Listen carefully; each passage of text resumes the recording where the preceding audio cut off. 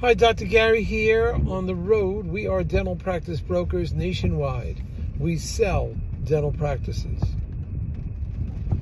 So today's uh, uh, YouTube video is when should a buyer start searching alternate banks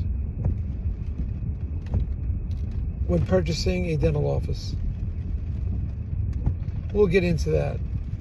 So we are now 28 states we're involved with, and we are with 10 employees, including two CPA accountants, and we're nationwide. Our available hours are 8 a.m. till 9 p.m.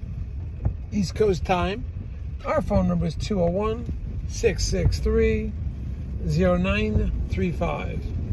Our website is dentalpracticeguide.com nation or nationwide dental practice brokers.com. So look us up. We have a lot of valuable information in there. We're trying to add content all the time. We just redid the website, and I think it's easier to um, navigate. So please let me know. Also, if you, all this information we're giving you is all for entertainment purposes. Our opinion, it's not legal advice. Also, we have. Uh, if you want to work with the DSO and you're like doing over 1.6 or 7 million, um, and you have over six ops, plenty of buyers still out there. We know all the DSOs. We are not engaged with them. We do work with them. We call them in on a you know on a deal that has that DSO parameter, but we're not uh, employed by them, work for them, or anything. However, they will pay, under most circumstances, our commission. So there's no commission for the buyer. So it doesn't cost you anything. And then also, when you work with us, uh, based on your criteria, if you're buying a DSO, we can often get your legal fees reimbursed upon successful closing. So call us and we'll give you more details about that.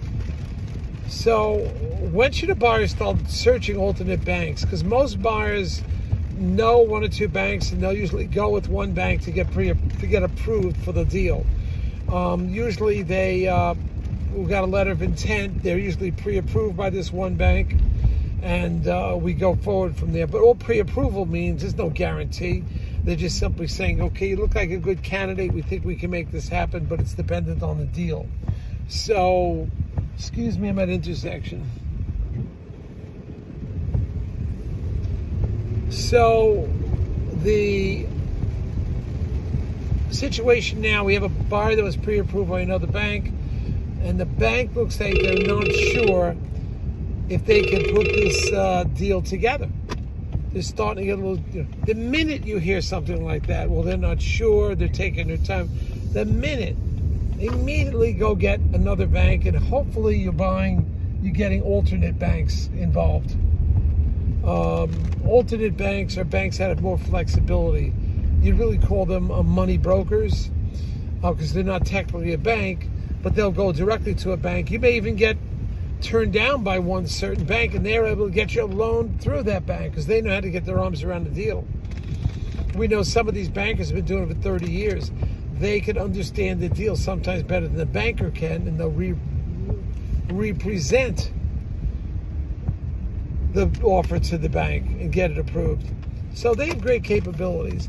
But the moment your bank starts getting the least bit slow you have to start looking for alternate banks. I frankly tell everybody they should look for two banks at the same time anyway. But a lot of them don't want to spend the time or the paperwork and they just stick with one bank. But it is as soon as they get shaky, start looking for other banks. But keep your mind open to alternate banks. These are money lenders, money brokers that will help you and a bit more unconventional and not necessarily higher rates at all. Uh, they've just been in the business longer and they know how to get their arms around everything.